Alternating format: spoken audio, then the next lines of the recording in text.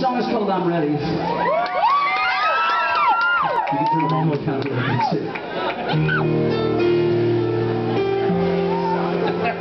too.